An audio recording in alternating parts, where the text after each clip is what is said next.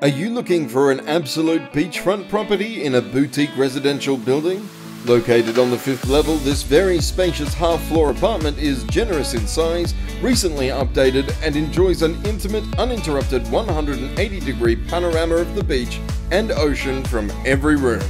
The large, fully tiled living and dining areas flow through floor to ceiling glass doors to a wide northeast beachfront balcony